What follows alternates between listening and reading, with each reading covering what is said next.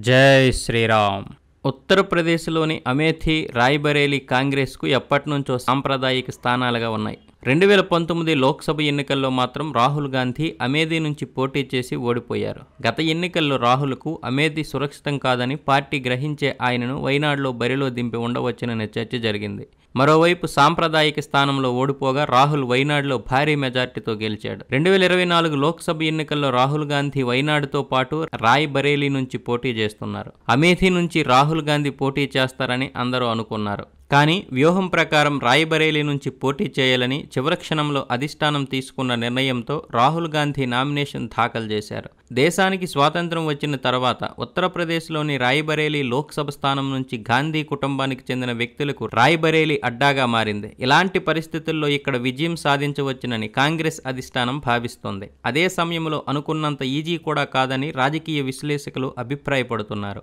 రాహుల్ను ఓడించడమే లక్ష్యంగా బీజేపీ ఎత్తులకు పై ఎత్తులు వేస్తుంది. es donde రాయ్బరేలీ అంటే కాంగ్రెస్కు గెలుపు గ్యారంటీ సీటుగా మారింది. దేశంలో మోదీ హవా ఉన్నప్పుడు కూడా రెండు వేల పద్నాలుగు పంతొమ్మిది ఎన్నికల్లో ఇక్కడి నుంచి కాంగ్రెస్ అగ్రనేత సోనియా గాంధీ ఎంపీగా గెలిచారు. ఫిరోజ్ గాంధీ మాజీ ప్రధాని ఇందిరాగాంధీ సోనియా గాంధీలు రాయ్బరేలీ నుంచి ఎంపీలుగా పనిచేశారు. ఎమర్జెన్సీ తర్వాత ఇందిరాగాంధీ పంతొమ్మిది వందల డెబ్బై ఏడు లోక్సభ ఎన్నికల్లో మాత్రమే వాటమిని చవిచూడాల్సి వచ్చింది. ఇందిరాగాంధీపై వ్యతిరేకత కారణంగా సోషలిస్ట్ నాయకుడు రాజనారాయణ విజయం సాధించారు. ఇందిరాగాంధీని యాభై రెండు వేల ఓట్ల తేడాతో రాజనారాయణ ఓడించారు. అంతకుముందు పంతొమ్మిది వందల డెబ్బై ఒకటిలో ఇందిరాగాంధీపై రాజనారాయణ పోటీ చేసినప్పటికీ విజయం సాధించలేకపోయారు. ప్రస్తుతం అందరనోళ్ళలో మెదులుతున్న ప్రశ్న రాహుల్ గాంధీ రాయ్బరేలీ నుంచి గెలుస్తారా లేదా ఈ సీటు గాంధీ కుటుంబానికి వారసత్వంగా వస్తున్న సీటుగా చూడాలి. ప్రస్తుతం అందరనోళ్ళలో మెదులుతున్న ప్రశ్న రాహుల్ గాంధీ రాయ్బరేలీ నుంచి గెలుస్తారా లేదా?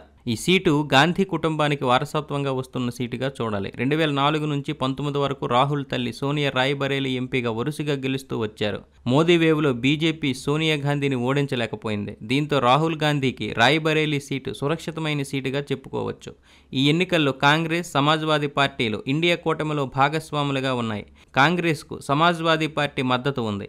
రాయ్బరేలీ లోక్సభ స్థానంలో ఐదు అసెంబ్లీ స్థానాలు ఉండగా సమాజ్వాదీ పార్టీకి నాలుగు బీజేపీకి ఒక సీటు ఉన్నది. ఇలాంటి పరిస్థితుల్లో ఎస్పీ పొత్తుతో కాంగ్రెస్కు కొంత లాభం ఉండి ఉండవచ్చుననే చర్చ జరుగుతోంది. బీజేపీ నుంచి దినేష్ ప్రతాప్ సింగ్ పోటీ చేస్తున్నారు. కాంగ్రెస్ కంచుకోట్లో రాహుల్ గాంధీకి ఎస్పీ మద్దతు ఎంత మేరకు మేలు చేస్తుందో జూన్ నాలుగున తేలిపోనుంది స్వాతంత్రానికి పూర్వం నుంచి రాయ్బరేలీతో కాంగ్రెస్ పార్టీలోని గాంధీ కుటుంబానికి సంబంధాలు ఉన్నాయి. పంతొమ్మిది వందల ఇరవై ఒకటి జనవరిలో మోతీలాల్ నెహ్రూ తన ప్రతినిధిగా జవహర్లాల్ నెహ్రూను ఇక్కడకు పంపారు. పంతొమ్మిది వందల ముప్పై ఏప్రిల్ ఎనిమిదిన యూపీలో జరిగిన దండి మార్చుకు రాయ్బరేలీని ఎంపిక చేశారు. ఆ సమయంలో పండిట్ మోతీలాల్ నెహ్రూ స్వయంగా రాయ్బరేలీ వెళ్ళారు ఇలా గాంధీ నెహ్రూ కుటుంబం రాయ్బరేలీకి దగ్గరైంది.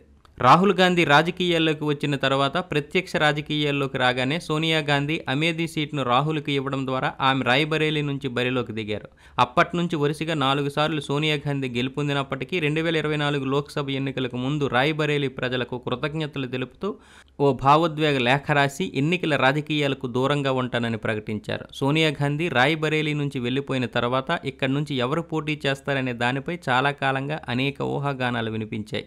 ప్రియాంక రాహుల్ గాంధీల్లో ఒకరు పోటీ చేస్తారని ప్రచారం జరగగా చివరకు రాహుల్ గాంధీ పేరును కాంగ్రెస్ పార్టీ ప్రకటించింది. దీంతో రాయ్బరేలీ నుంచి గాంధీ కుటుంబం వారసత్వాన్ని రాహుల్ గాంధీపై పెట్టినట్లయింది. ఇక్కడి నుండి రాహుల్ గెలుస్తారా లేదా అనేది జూన్ నాలుగును తేలుపునుంది ఈ వీడియో కనుక నచ్చినట్లయితే లైక్ చేయండి షేర్ చేయండి. మాకు సపోర్ట్ చేయాలనుకుంటే కిందన జాయిన్ బటన్ ద్వారా సపోర్ట్ చేయొచ్చు. జై శ్రీరామ్ జై హింద్.